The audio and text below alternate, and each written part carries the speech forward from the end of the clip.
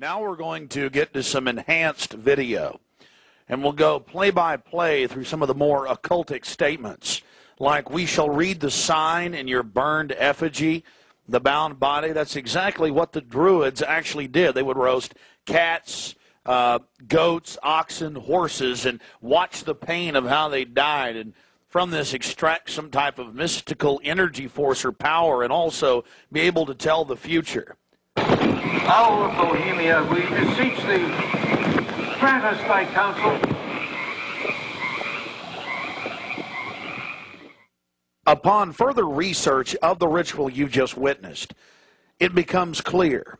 It is a mixture of the Babylonian Canaanite cult of Moloch fused with ancient Druidic rites, where you have the female side of Satan, which they first call out to in the she, and then towards the horn god with the he, mixed with Masonic rites from Scotland.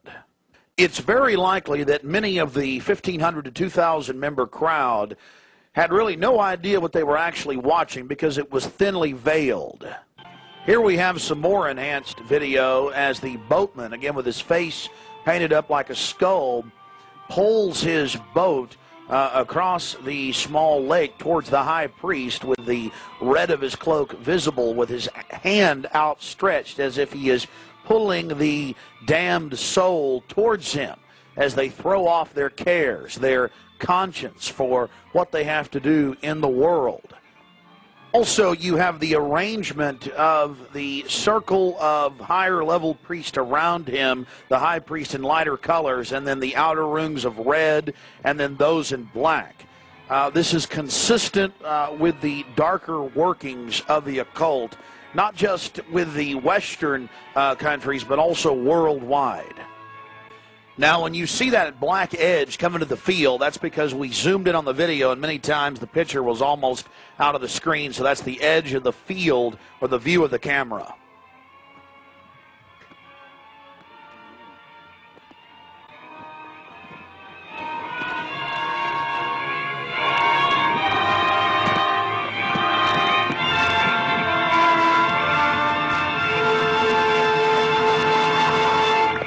We'll get back to more enhanced video of the ritual here in just a minute. But remember PJ, the little demon down in the corner, the left hand corner of the program, sweeping up the ashes with little horns? And how can you forget this? The image of a human body burning on the altar. Again, this is what they were handing out to those that were witnessing uh, these macabre activities. But again, from Babylon on into ancient England, the word bone fire, meaning human sacrifices being thrown into fiery pits, turned into today's bond fire. After the sacrifice, members of the cult would sweep up the ashes of the victim and use them in future rituals.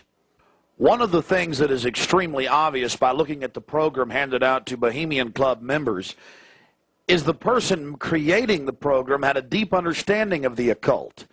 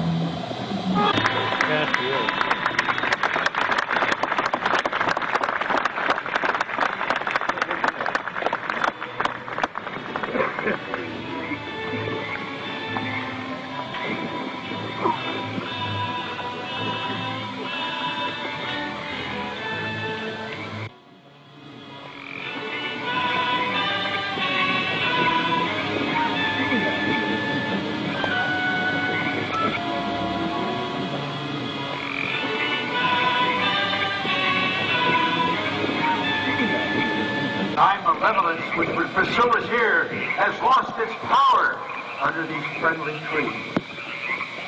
So shall we burn thee once again this night, and in the flames that eat thine effigy, we shall read the sign, Midsummer sets us free. You shall burn me once again!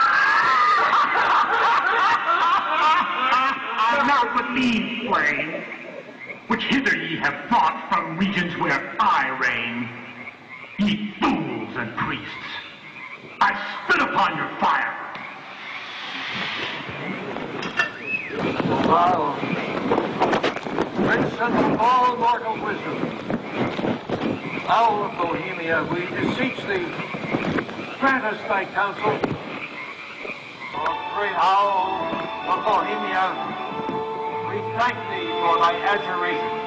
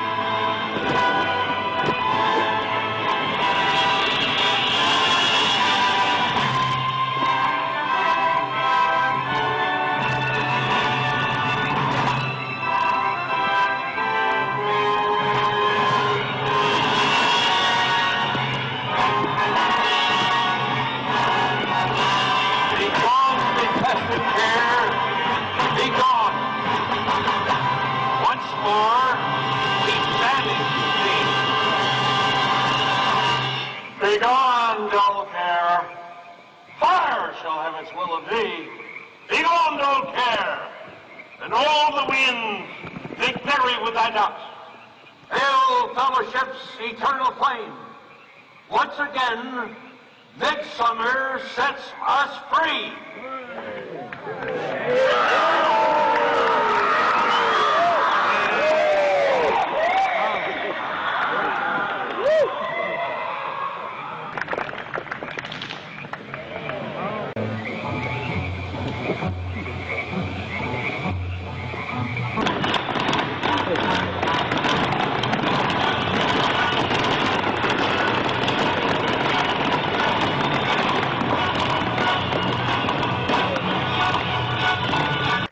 Another point the pyrotechnics you're seeing going off uh, were being released from beneath little wrought iron crosses about a foot and a half tall. Also, notice the screams of pain coming uh, from the sacrifice.